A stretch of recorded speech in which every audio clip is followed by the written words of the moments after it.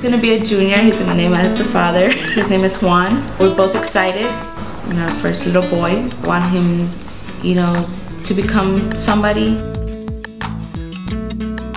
Everybody receives a notice, you know, with their paycheck. Our benefits will no longer be active to us as of February 1st. It's very difficult because I'm doing three months. I work at the LAX airport. As a dispatcher, I dispatch the wheelchair agents.